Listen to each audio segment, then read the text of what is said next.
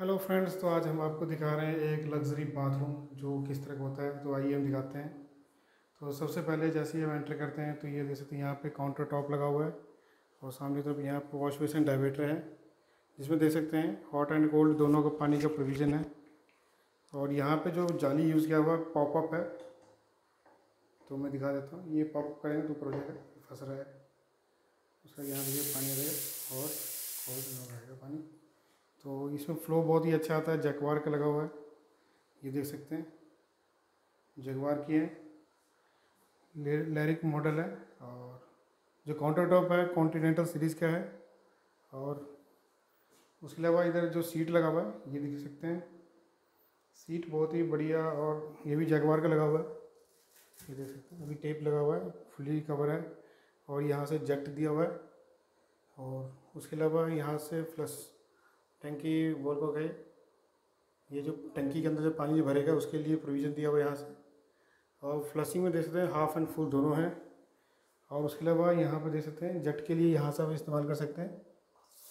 ये देखिए ये देखिए जो ऑन कर रहे हैं।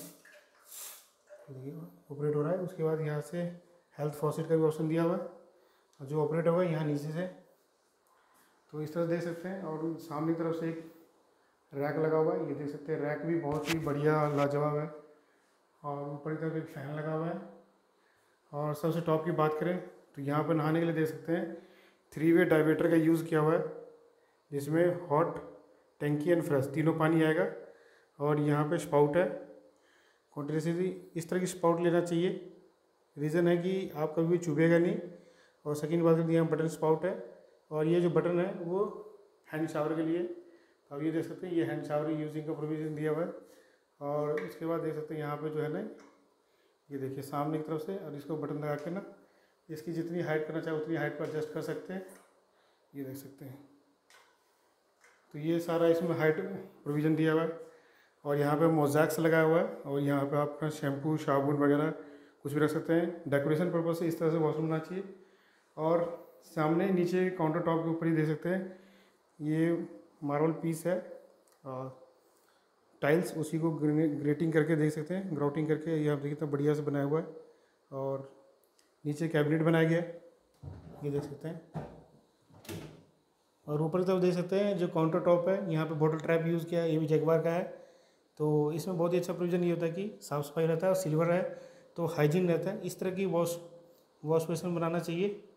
और सेकेंडली बात करें तो बहुत ही सारे नीचे तरफ़ ये डेकोरेशन के लिए आप यहाँ से टॉवल वगैरह रख सकते हैं।